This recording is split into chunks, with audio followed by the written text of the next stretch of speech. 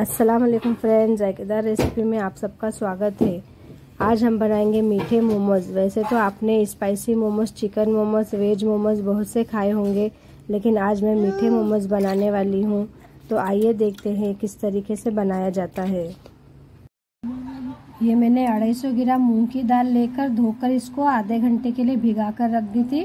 हमारी दाल अच्छे से अभी भिग चुकी है। पैन में हम मूंग की दाल को डाल देंगे।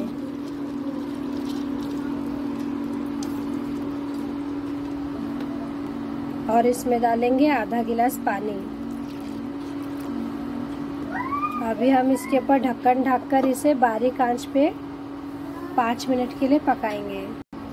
देखिए, पाँच मिनट हो चुके हैं, अभी हम इसे चेक करेंगे। पाँच मिनट पकने के बाद इसमें उबाल आ चुका है।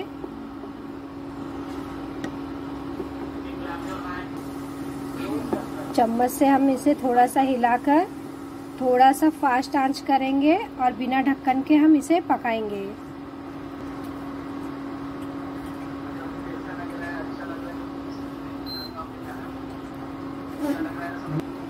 अभी हम चम्मच से इसे बीच में हिला लेंगे ताकि इसमें नीचे दाग ना लग जाए।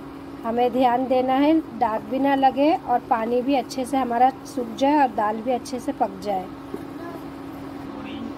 देखिए, दाल में पानी अच्छे से सूख चुका है। दाल भी हमारे गल चुकी है। ये देखिए, दाल भी गल चुकी है। हमें ऐसा ही चाहिए। अभी हम गैस को बंद कर देंगे। अभी हम इसे ठंडा होने देंगे। दाल देखिए, एकदम बिल्कुल ठंडी हो चुकी है।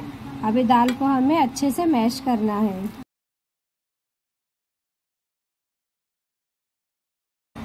देखिए, दाल हमारी अच्छे से मैश हो चुकी है। बिल्कुल भी दाल में पानी वगैरह, गीला कुछ भी नहीं है। हमें ऐसे ही चाहिए। अभी हम शक्कर डालेंगे। देखिए, मैंने मिक्सर की जार में 150 ग्राम शक्कर ली हूँ। अभी हम इसे पीस लेंगे। शक्कर को मैंने पीस दी हूँ। अभी हम दाल में शक्कर को डाल देंगे। और इसमें डालेंगे एक चम्मच इलायची पाउडर। और हाथों से इसे अच्छे से मिक्स करेंगे।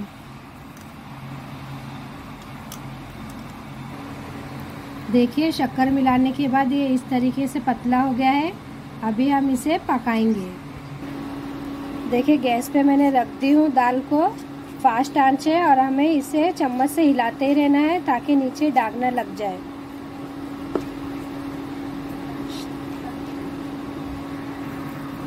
देखिए, शक्कर का पानी अच्छे से सूख चुका है।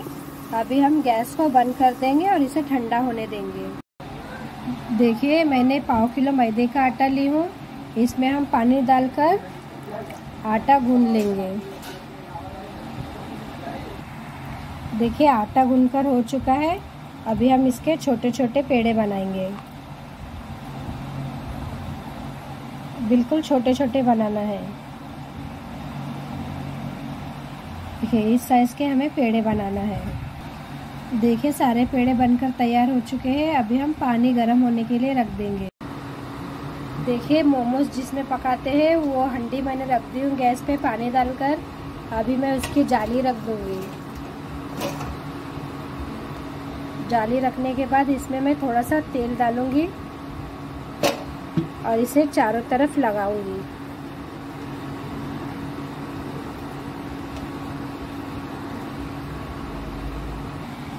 देखिए सूखा आटा लगाकर अब हम इसे बेल लेंगे।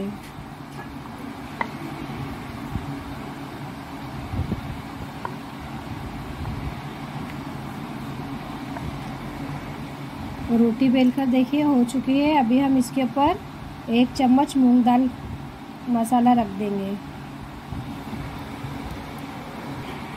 अभी हम इसे एक तरफ़ से ऐसे ऐसे फोल्ड करते जाएँगे।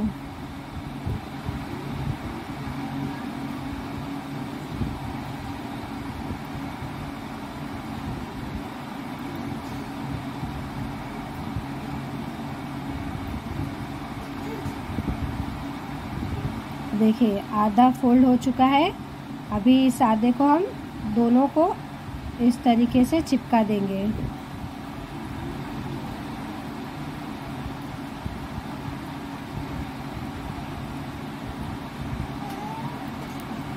देखिए, ये अच्छे से चिपक चुके हैं। अभी हम इसको जाली पर रख देंगे। इसी तरह हम सारे मोमोज को बनाकर रख देंगे।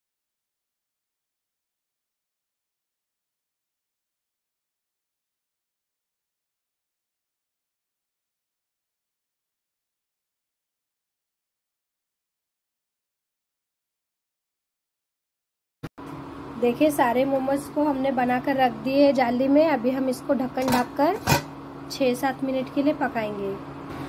देखिए, पाँच से छः मिनट हो चुके हैं। अभी हम इसे चेक करेंगे।